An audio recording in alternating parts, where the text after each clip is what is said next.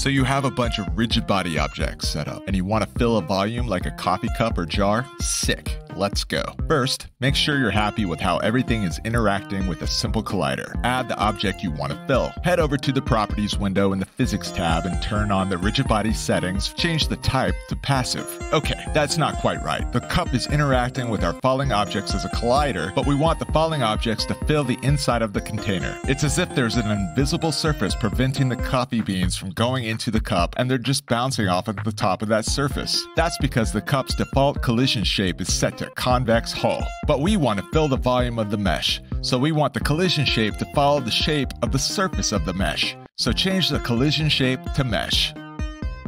Cool beans, but let's make them a little cooler. The beans should look like they're being poured into the mug and not just falling uniformly from above. Make an object for the beans to fall onto, then slide into the mug. Add rigid body settings. Change the type to passive and the collision shape to mesh. Then under surface response, play with the friction and bounciness settings until you're happy with how quickly the beans slide down. Set up your camera and lighting. Check your output paths and press Ctrl F12 to render.